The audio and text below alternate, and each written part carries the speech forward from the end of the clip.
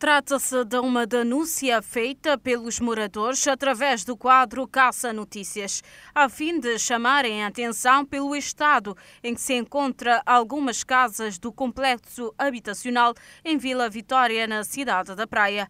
No local deparamos com vidros quebrados, as paredes rabiscadas, fezes pelo chão e lixo dentro e fora dos espaços.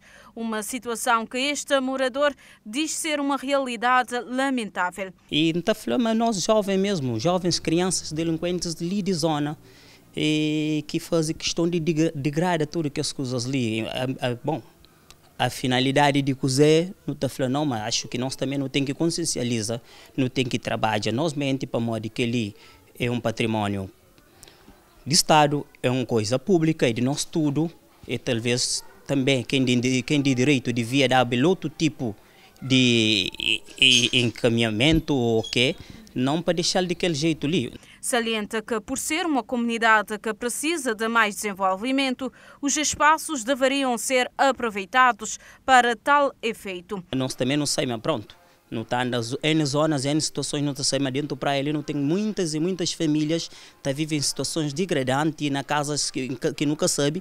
E também hoje um caso daquele, que é uma coisa pública, de Estado, estragado daquele jeito ali, você entende? Então, apela quem de direito para tomar responsabilidade, bem ele, se pode recuperar ele, e é a fim de encaminhar para coisa. Ao seu ver, os próprios moradores devem ter um papel importante sobre isso, na responsabilização pelos mais pequenos e não só, em não contribuírem para a vandalização dos espaços.